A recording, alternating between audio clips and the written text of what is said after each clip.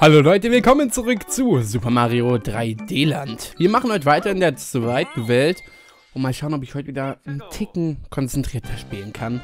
Ähm, beim letzten Mal habe ich ja, ähm, ja, die Karma-Klatsche bekommen. ich glaube, so kann ich es nennen und wenn ich dran denke, ich weiß nicht, ob ich es schaffe, dann werde ich vielleicht den letzten Part auch so nennen. Ich finde die Karma-Klatsche eigentlich einen schönen Begriff, fällt mir gerade auf.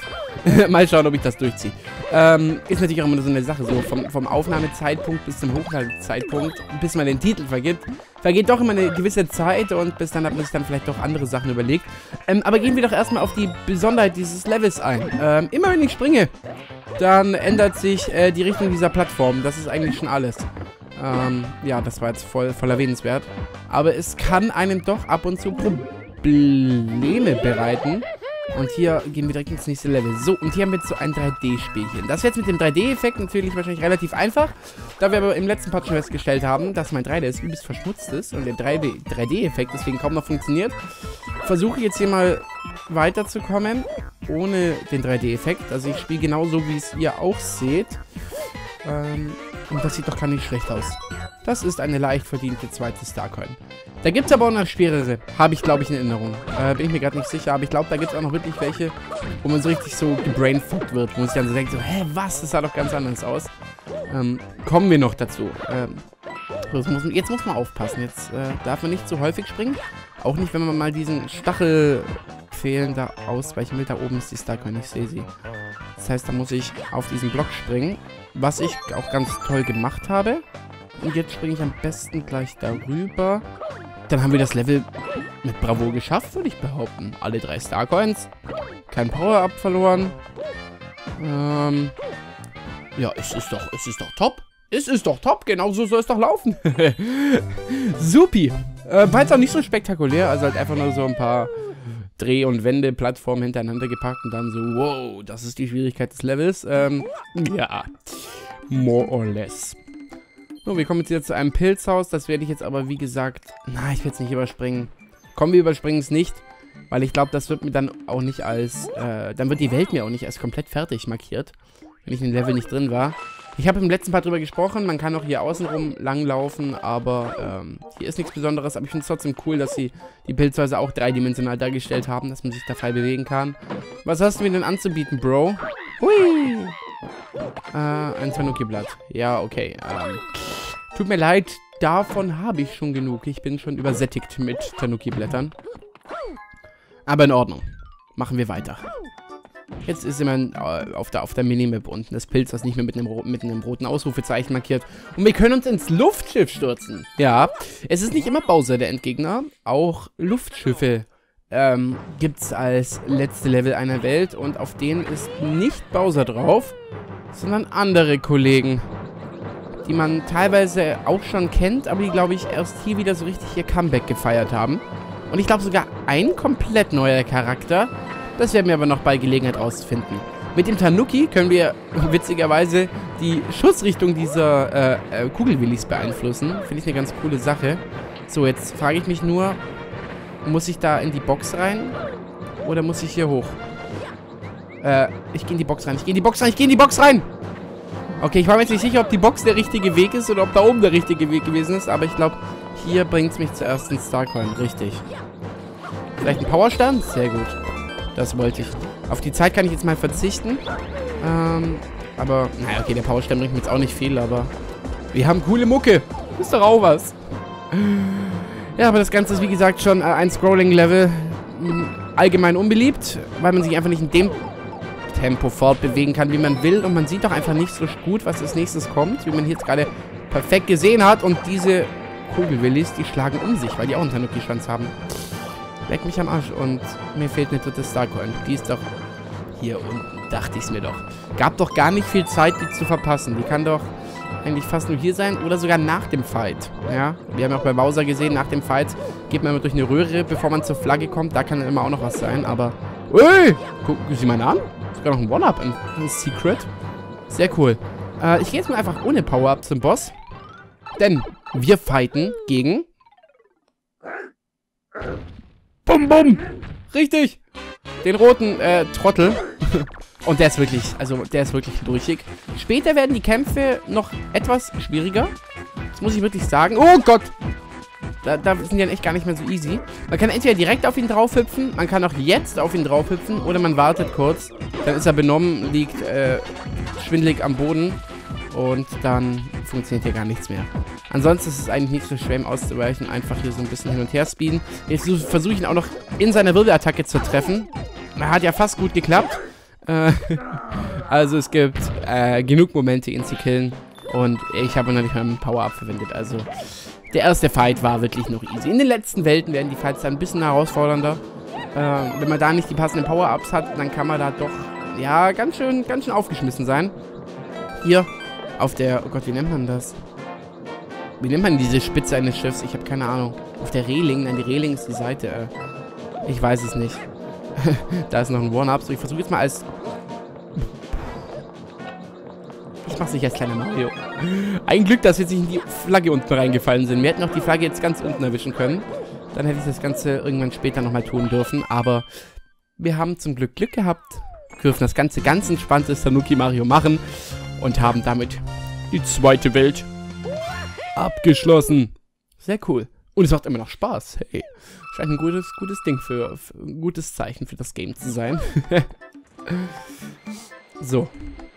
Mal sehen, was drei, äh, Welt 3 für uns äh, zur Verfügung hat. Was ich ein bisschen dumm finde, ist, dass eigentlich so, dass die, dass das Weltenthema gar nichts mit dem Levels-Thema zu tun hat. Also der Hintergrund ist hier gelb, aber ist so. Die Welten sind eigentlich relativ unbedeutend. Das finde ich ein bisschen schade. Es ist immer noch Nacht. Und wir finden wieder einen Brief. Oh, oh, oh. Bowser entführt Peach mit seinen Luftschiffen und es wackelt alles schön. Yay. ich finde die Mucke in den Zwischensequenzen immer so witzig. So, und das ist jetzt richtig eine Strandmucke.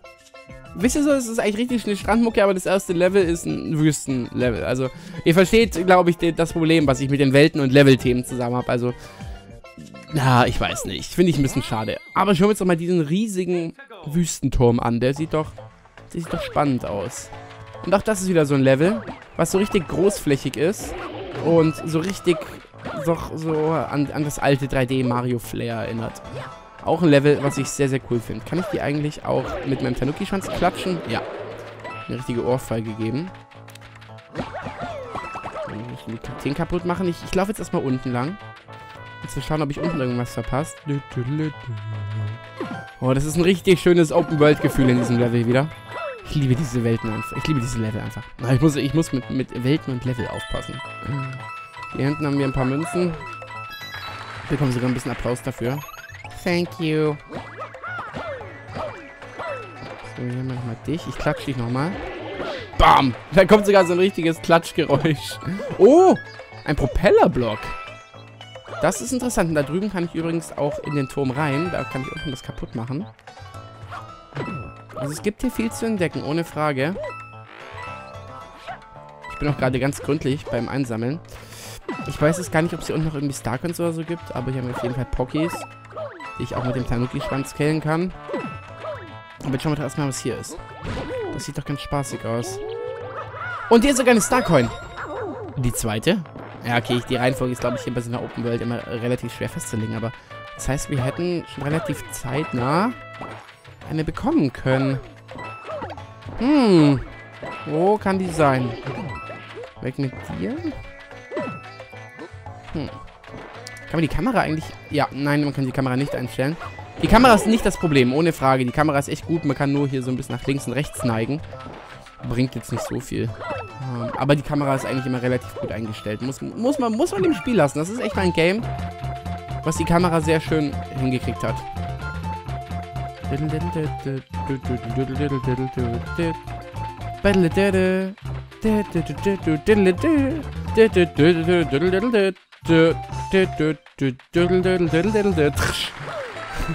Sehr gut. Ein One-Up noch. Ähm, so, das ist jetzt aber, glaube ich, wirklich alles, was hier draußen war. Da drin sind noch Münzen. Aber ich glaube, wir können festhalten, viel zu entdecken in diesem Level. Jetzt schauen wir aber erstmal, wo die erste Starcoin ist. Oh! Ich bin so ein Trottel. Das ist, oh, das ist der, mal wieder der Abo-Sound. Das ist ja, hat sich ja fast eingebürgert bei mir. Das ist der Abo-Sound aus meinem Livestreaming-Ding. Das ist irgendwie immer noch aktiviert. So, wie, wie komme ich denn da? Nein, da ist ja die Star. Ich weiß nicht. Das heißt, mich hat gerade jemand abonniert. Ja, das freut mich doch sehr.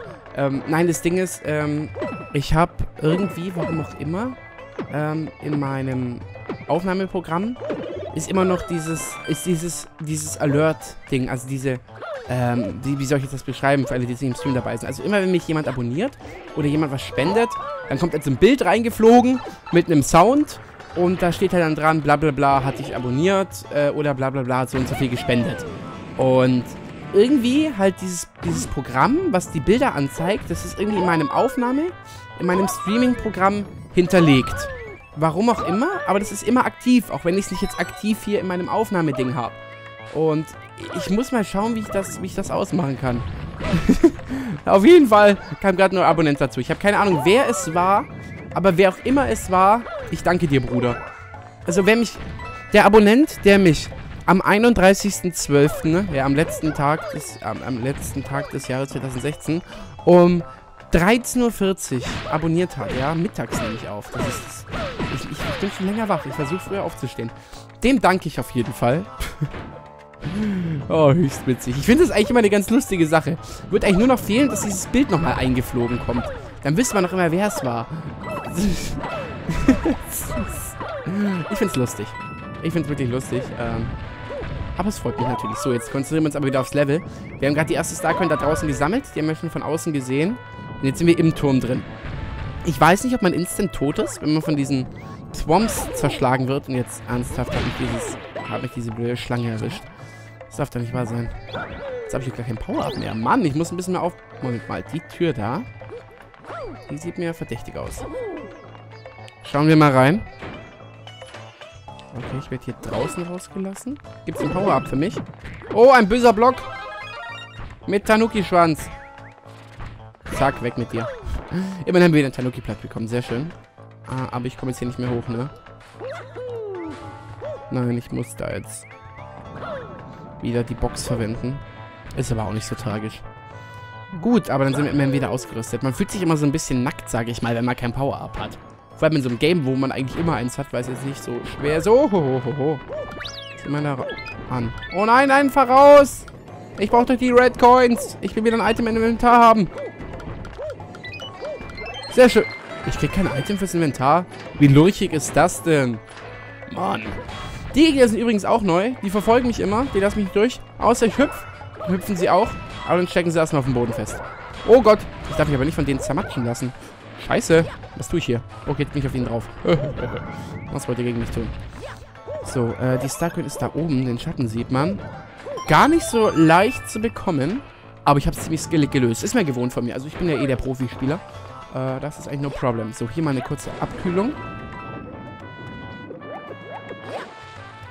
Und dann können wir, glaube ich, entspannt zum Ziel gehen. Oh Gott, ich höre da oben nochmal unsere kleinen Mini-Swamp-Gegner. So, weg mit dir. Und jetzt ins Ziel. Sehr schönes, großes, offenes Level, was schön lange dauert. Hat richtig Spaß gemacht und ich sehe, wir haben noch Zeit für ein weiteres Level. Gut so. Wir kommen gut voran. Wir kommen gut voran und vor allem relativ problemlos. Das ist sehr angenehm.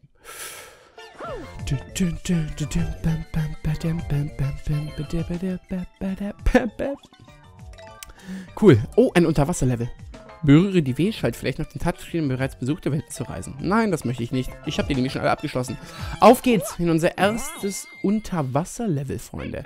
Ich hätte es auch cooler gefunden, wenn die Level Namen bekommen hätten. Das, das feiere ich immer. Aber das haben sie erst mit New, mit New Super Mario Bros. U eingeführt, den Level Namen zu geben.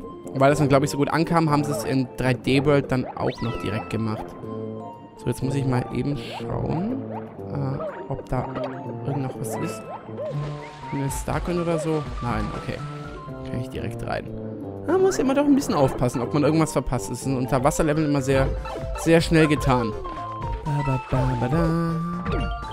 Und hier haben wir jetzt ein paar Münzen. Sollen die mir irgendwas zeigen? Hier. Oh, nur ein Pilz. Aber sieh mal an. Hier kriegen wir sogar eine Feuerblume. Machen wir uns ein paar geröstete Fische hier. Wie auch immer die Flammen unter Wasser aktiv sind. Die sind also so heiß, dass sie unter Wasser noch an sind. Ja, vielleicht ist das Wasser voller Gas vom Fracking. Gibt es ja auch die ganzen Videos, wenn so Wasser mit Gas, äh, so, so mit Gas gefüllt sind, dann kann man das Wasser ja anzünden. Also, es, es hat den Anschein, als ob man das Wasser anzünden würde. Da gibt es ja wirklich ein paar erschreckende Videos aus Australien, kamen die, glaube ich. Da muss man ja schon aufpassen, also wie da unsere Gewässer verseucht werden. Fracking sowieso eine sehr umstrittene Sache. Ähm, das ist ja, soweit ich weiß, Gas aus tiefen Erdschichten. Ähm, also, also man holt, glaube ich, äh, verbessert mich, wenn es falsch ist. Ich, aber ich glaube, Fracking ist ja, wenn man aus, aus Gestein, was sehr tief in der Erde ist, durch chemische Substanzen äh, Erdöl gewinnt. Ich glaube, so war das. Also man pumpt einfach viele giftige Chemikalien in die Erde, die dann aus diesem Gestein, was tiefer in der Erde drin ist, das Erdöl rausholen. Aber diese chemischen Substanzen, dieser chemische Müll bleibt dann eben im Boden und äh, gerät dann noch irgendwann ins Trinkwasser. Und das ist einfach eine, eine sehr, sehr kritische Sache. Und dieses Gas kann dann eben, glaube ich, auch austreten und eben dann ins Gewässer kommen. Und dann kann man eben das Gewässer sozusagen in Anführungszeichen anzünden. Äh, das war ein ganz, ganz kurzer Crashkurs ins Fracking. Ich habe nur mein Referat in der Schule drüber gehört und mal ein paar Artikel gelesen. Äh, sonst bin ich noch nicht so informiert über die ganze Sache. Ähm, ich muss, ich töte jetzt mal kurz den Aal. Ich glaube, das geht. Also er kriegt auf jeden Fall Damage. Ja, dann explodiert er. Aber jetzt ist seine Höhle eingestürzt. Aber wir können hier runter. Und da ist eine Röhre. Bringt die mich zu einer Starcoin? Ja, sehr schön. Und auch dieser Bonusraum ist jetzt geflutet. Juhu! Sehr gut, das war auch die zweite. Das heißt, noch nichts verpasst. Wir können übrigens auch Unterwasser-Stampfattacken machen. Dann kann man ein bisschen schneller nach unten. Kann man sich auf jeden Fall merken, falls man mal irgendwo in Bedrängnis gerät und schnell nach unten flüchten muss. So, nachdem wir den A jetzt gekillt haben, geht es hier relativ problemlos für uns weiter. Und das sieht doch auch schon wieder verdächtig aus, oder? Da kann ich doch bestimmt nach unten oder oben. Oh Gott, nicht runter, nicht runter, nicht runter.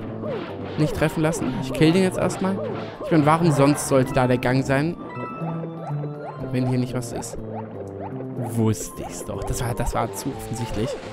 Ähm, das sogar die Starcoin. Sehr gut. Und führt mich das ist zum selben Weg wie die Röhre unten. Nein, führt sie nicht. Man kann nur über... Man kann nur über diese Röhre ähm, die goldene Fahne erreichen. Okay, dann war es sogar enorm wichtig, dass wir da hochgegangen sind. Super. Und damit, Freunde, sind wir wieder am Ende der Folge angekommen. Diese 3D-Lamparty vergehen so sackschnell, dass es nicht mehr feierlich. Also man fängt den Part an und dann ist er eigentlich auch schon wieder vorbei, so gefühlt. Vielen Dank, dass ihr wieder dabei wart. Ähm, hat mich sehr gefreut. Ich hoffe, ich konnte euch ein bisschen unterhalten. Ähm, wenn ja, dann ein Daumen nach oben wäre toll. Bei 50 Daumen nach oben gibt es ganz schnell die neue... Nein, Spaß. Die Folgen kommen im selben Rhythmus wie sonst auch. Euer Hübi. Haut rein.